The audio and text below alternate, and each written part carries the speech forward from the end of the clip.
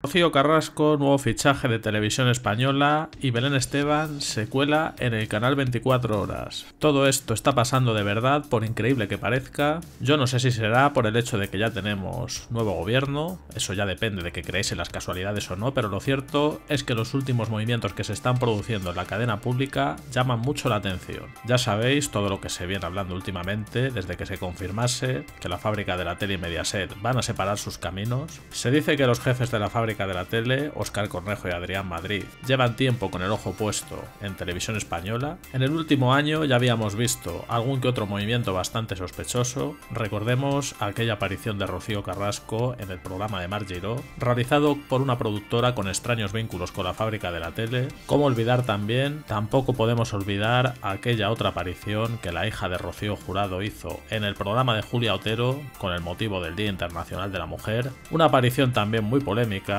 porque ya sabemos que esta mujer no es considerada por la justicia como víctima de nada, pero el caso es que después de todo aquello siguen produciéndose movimientos cuanto menos inquietantes y podríamos decir que el universo Sálvame, no sabemos si también pronto la fábrica de la tele, está cada vez más presente en televisión española. Eso es una realidad y aquí tenemos el último ejemplo de ello que diría que resulta de lo más inaudito. Ya no estamos hablando de que nos los meten con calzador en un programa de entretenimiento, sino que resulta que Belén Esteban se ha colado en el informativo del canal 24 horas. ¿De verdad era necesario? El motivo, el tema que hoy también hemos comentado en un vídeo anterior, que es un asunto que también tela marinera. Esas fotos que colaboradores de Sálvame, como la susodicha Belén Esteban, también Kiko Hernández, han publicado junto a los Reyes en un evento que ha tenido lugar con motivo del aniversario del periódico La Razón. Y aquí se cuenta qué es lo que ha pasado en el canal 24 horas, donde como digo se ha colado un rostro históricamente tan vinculado a Telecinco como es el de Belén Esteban,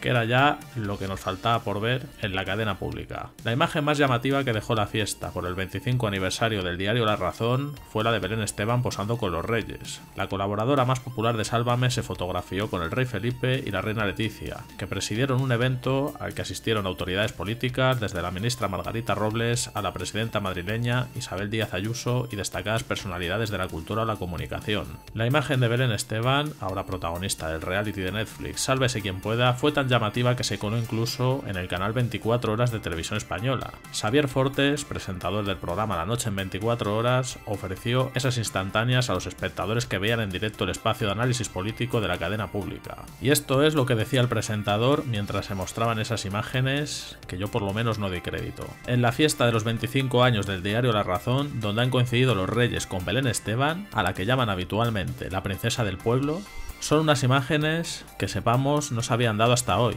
¿Qué pinta el presentador del canal 24 horas? Hablando de Belén Esteban y refiriéndose a ella como la princesa del pueblo. Por mucho que haya posado con los reyes, es que da igual, es que no tiene ningún sentido. Yo entiendo que el tema se pueda tratar en otro tipo de formato, porque bueno, no deja de ser una imagen, que no deja de llamar la atención, que resulta hasta graciosa, por no decir surrealista. A lo mejor menos graciosa para quien considere que los reyes tienen en este momento asuntos mucho más importantes que pero bueno, de eso ya hemos hablado en un vídeo anterior. Pero en cualquier caso, como digo, ¿qué pinta esto en el canal 24 horas? ¿Por qué de repente empiezan a pasar todas estas cosas en televisión española? Todo esto recuerda además coincidiendo con el desembarco de la fábrica de la tele en Mediaset y con la formación de un nuevo gobierno, que sabemos que la cúpula de la fábrica de la tele están también muy pendientes de todo esto. Pero es que hay todavía más, ya que como se cuenta, la aparición de Belén Esteban en el canal 24 horas se suma a la visita que cinco colaboradores de Sálvame hicieron el día anterior al plató de Late Show, el programa que Marc Giró presenta en la 2 de Televisión Española.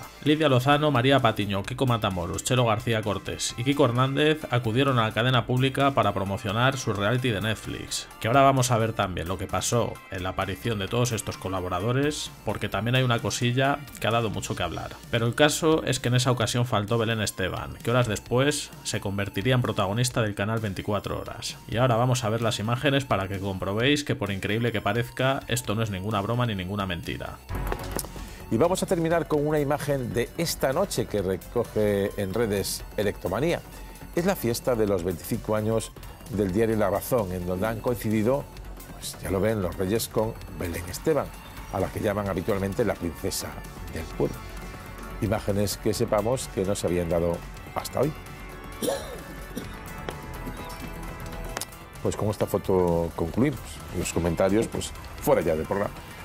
Estefanía Molina. Buenas noches. Pues este es el percal que tenemos ahora mismo. Podemos comprobar cómo hasta el propio presentador, Xavier Fortes, alucina un poco con la situación. Yo no sé en qué momento se ha normalizado todo esto, que nos metan a Belén Esteban en el canal 24 horas como si nada. Pero es que todavía hay mucho más, ya lo decíamos al principio del vídeo, y tampoco se trata de ninguna broma. Noticia que se ha conocido esta misma mañana, exclusiva del portal Yotele, Televisión Española ficha a Rocío Carrasco como concursante estrella de Celebrity Bake Off, que presentará Paula Vázquez. La mujer, considerada por muchos como una de las grandes responsables del, hundimiento de Telecinco y Mediaset, con una docuserie en la que se saltaron a la torera los principios más básicos de la justicia y del Estado de Derecho, condenada además penalmente hace unos meses por el impago de la pensión alimenticia de su hijo, pues a pesar de todo esto, parece que Rocío Carrasco también ha encontrado cobijo en la cadena pública. Vemos que más se cuenta en la información. Rocío Carrasco vuelve a televisión tras su paso por Telecinco, donde en abril de 2021 protagonizó el controvertido documental Rocío contar la verdad para seguir viva, en el que dio su versión sobre su truculenta historia con Antonio David Flores tras más de 20 años de silencio.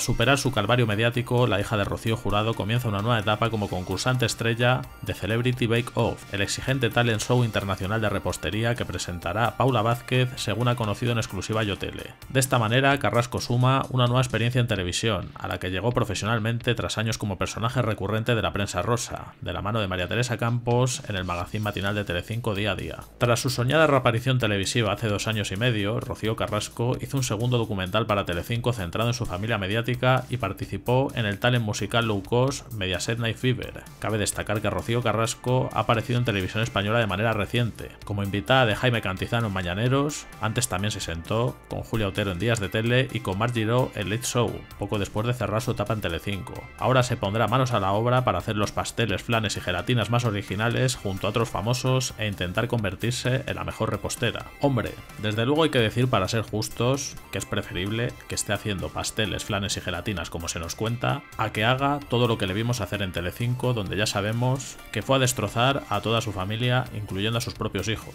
Mucho mejor esto a dónde va a parar. Pues ya veis el circo en el que se está convirtiendo Televisión Española, con los rostros de Sálvame y de la fábrica de la tele cada vez, campando más a sus anchas, y para culminar el esperpento tenemos esto de aquí. Los excolaboradores de Sálvame dan el salto a Televisión Española y se burlan de Paz Padilla. La promo de Sálvese quien pueda está regalándonos momentos antes impensables como el salto de los que fueran colaboradores de Sálvame a otros canales de televisión. Atados en corto a Telecinco durante 14 años, ahora María Patiño, Lidia Lozano, Chelo García Cortés, Kiko Hernández y Kiko Matamoros se han dejado ver en otros canales y programas como La Resistencia Movistar Plus, donde Matamoros reveló cuánto dinero debe Hacienda, todo un ejemplo como podemos comprobar, incluso ahora en la 2 de Televisión Española. Los cinco acudieron al programa Late Show de Mark Giro y allí volvieron a mostrar su lado más desenfadado y dejaron clara una cosa, su relación con Paz Padilla está rota y no tiene pinta de que vaya arreglarse nunca, que esto tampoco es una cosa que pille por sorpresa porque yo creo que la polémica la conocemos de sobra. Y es que en uno de los juegos el presentador les dijo que escribiesen en una pizarra quién les gustaría que apareciese en la segunda temporada de su reality en Netflix, y los Kikos no dudaron en lanzar una puya a la que fuera su presentadora. Aquí podemos ver la imagen del juego que estaban haciendo, además de la carcajada general que supuso que Hernández y Matamoros dijesen que les gustaría que Paz Padilla apareciese en Sálvase quien pueda, la broma no quedó ahí. Y es que más tarde, en un juego de adivinar el personaje